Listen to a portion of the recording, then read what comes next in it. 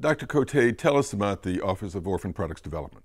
Sure. The Office of Orphan Products Development is uh, the home at FDA for people with rare diseases and for people who want to make therapies for people with rare diseases. It was established by the 1983 Orphan Drug Act, which was the brainchild of a woman by the name of Abbey Meyer. She was a housewife from Danbury, Connecticut, and turned into a grassroots political mover. She founded an organization called NORD, the National Organization for Rare Disorders, which uh, exists today and is doing great work along with other uh, patient advocacy groups.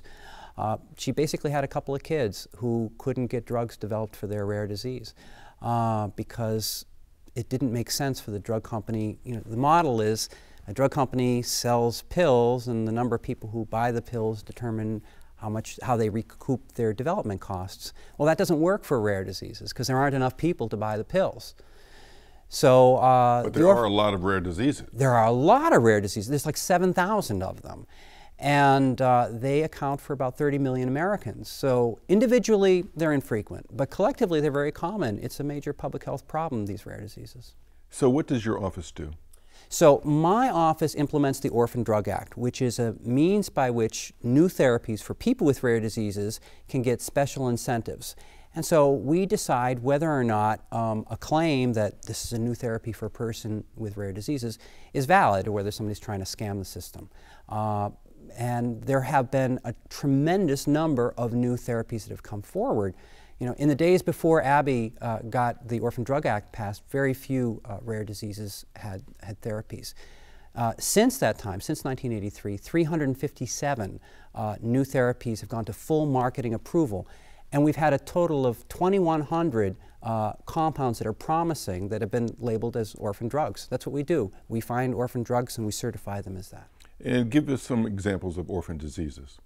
Sure. Well, you know, they're all over the spectrum. There are a bunch of different things that you might not imagine. They go from things that a lot of doctors have never heard of, um, and certainly that a lot of doctors have never seen or treated, like Gaucher's and Pompe's, um, muscular dystrophy, cystic fibrosis. You know, I got 7,000 to pick from, so there's quite a lot um, to some things you might not expect, things where the population is zero, like agents of bioterrorism, which uh, haven't, you know, fortunately the population is still fewer than 200,000 Americans, which is the rule for uh, where we make the cutoff for a rare disease.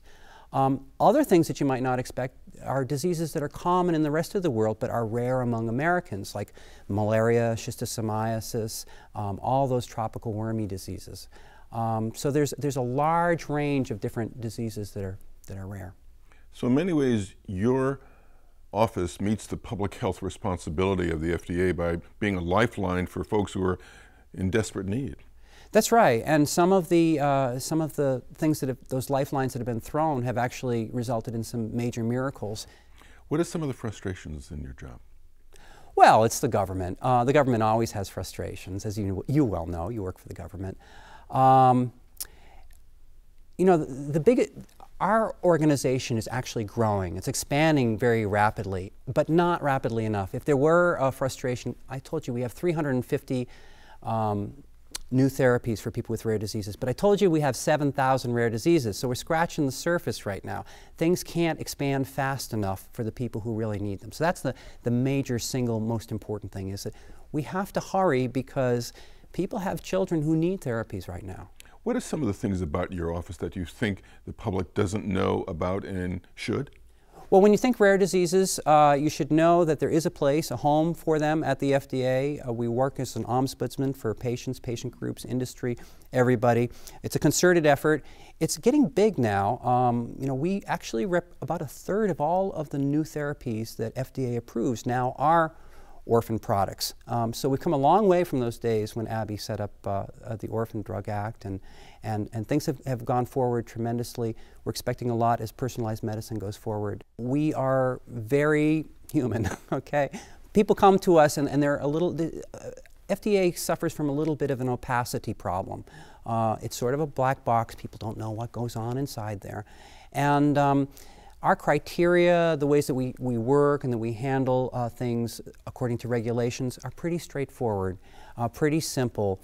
Um, for example, an, a good orphan status designation application could be done in about eight or nine pages. And I have received applications that sit in volumes that are taller than you are. So um, those are the kinds of problems. People are, are a little bit, they don't know what to expect of the FDA, but it's mostly just people helping Americans. And uh, while, while you're a lifeline to patients, you're also uh, a prop for industry as well, because uh, uh, industry would like to make these products as well, and you give them a way to do it. The truth is that the FDA doesn't make drugs. We don't make miracles. Miracles are being made, and we're overseeing their safety and their efficacy, and that they're appropriate for populations. But we ourselves don't actually make drugs. We're, we're regulators. So um, yeah, they are an important, a very important part of the, pro, uh, of, of, of, the process. And um, so we need to see, our mission is to serve the American people, and industry is a tool through which we do that. Dr. Cote, I noticed that you're wearing a uniform. Uh, what's that all about? Sure. Uh, this uniform is the uniform of the U.S. Public Health Service. The Public Health Service has existed for a long time. It goes back to 1798, and we, um, we are the nation's response to public health needs. The nation has always needed to have doctors to send into outbreaks and epidemics and doctors to send to Katrina and, and other emergencies. Uh, these days, most of us work at different agencies, at FDA, CDC, NIH, uh, and at those agencies, there are people in uniform and outside of uniform.